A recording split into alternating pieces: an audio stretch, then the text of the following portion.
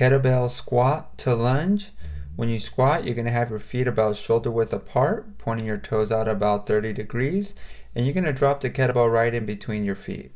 Now, when you do the lunge, since your foot is pointed out about 30 degrees, you're doing the lunge diagonally and not straight back. You want your knees pointing in the direction of your feet. So imagine there's an arrow on your knee and there's an arrow on your foot, and you want to make sure they're all aligned.